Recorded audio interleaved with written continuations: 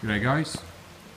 Today at Eurocar Upgrades we've got Audi S4 for the supercharger pulley upgrade as well as chip tuning.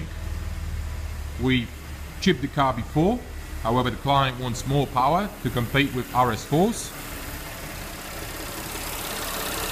The pulley has been fitted, it's working well. It should give the client about 380 to 400 kilowatts of power.